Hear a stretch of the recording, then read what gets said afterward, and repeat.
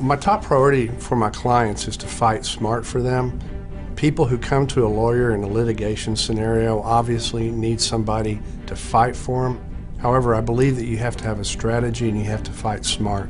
In my 30 years of practice, I've never seen the perfect case nor the perfect client. I recently helped a young woman in a custody fight to try to get her daughter back. Because we were able to work as a team and because she was honest with me, we were able to plan our presentation for the court, lay out what had happened to the court, and put her in the best light possible for the court and fortunately she won that case.